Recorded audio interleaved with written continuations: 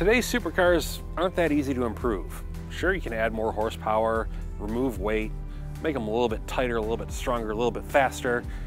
But if you want the number one best way to improve a supercar, take the roof off.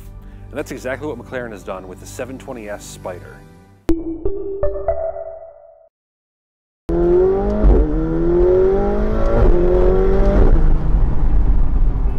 This is the McLaren 720S Spider. The 4-liter twin-turbo V8 in this car generates 720 horsepower. Even though it's convertible, even though it's heavier than the 720S Coupe, this car gets to 62 just as quickly, in 2.9 seconds. And it sounds like this. It is an absolute riot of a supercar to drive. But what's really impressive about it is the fact that you don't really give up much. Yeah, it's heavier, but it's only about 120 pounds heavier. That's not a lot in the world of supercars. And the fact that it's very nearly as fast is huge. 2.9 seconds to 62 miles an hour. It's a tenth of a second slower to 124 miles an hour. Those are crazy stats for a hardtop. But when the, when the convertible version can do it just as well, that is.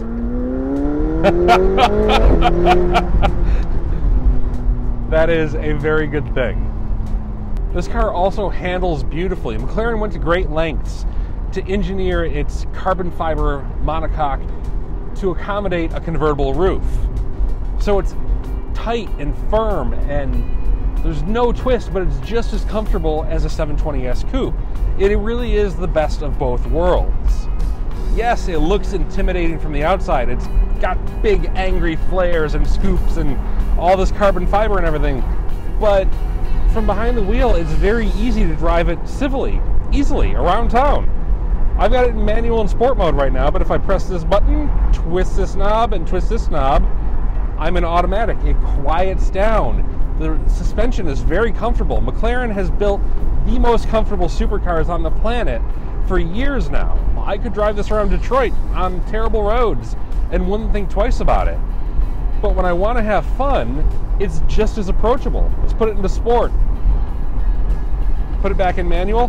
I can dig into the throttle without worrying. The power is so approachable. There's a ton of turbocharged boost, but it doesn't scare you. It doesn't frighten you. You know exactly how the car is going to behave. That convertible roof is pretty nifty too. It can raise and lower at speeds of up to 30 miles an hour. And to show you what that looks like, I'm going to do it right now. 30 miles an hour. And I press the button. Here we go. Windows drop a little bit.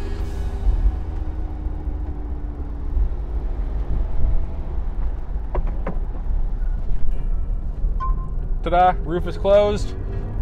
It is now a 720S Coupe. This panel is a bit like Mercedes Magic Sky system. Press a button, and it tints up to 95%, which means you're not going to be as hot. When I drove the 570 GT last year, I complained that the glass roof felt a bit like sitting in a microwave as I drove through the Michigan summer. This car won't have that problem. For the 720S Spider, McLaren moved the top, this bit right here, 80 millimeters forward. I have no idea what that is in freedom units, but it's substantial. Moreover, they curved it. So on a 720S Coupe, the windshield's outermost bits uh, come backwards. It's like this. The 720S Spider is like this. That means getting in and out is easier and visibility is better. This car raises the bar for me personally. When I accelerate, when I go wide open throttle like that, as I'm going to do it again because why not?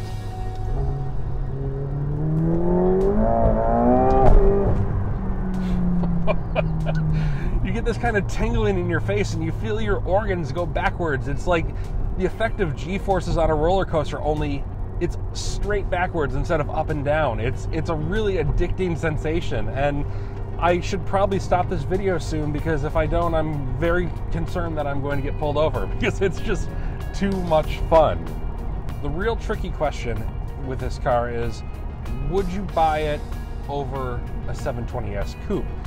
Coupe is going to be cheaper. It's going to be the higher performer, no matter how thoughtful and intelligent McLaren was designing this thing.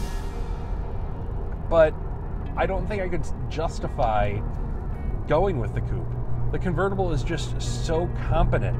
It's 99% of the car, but with 101% of the joy.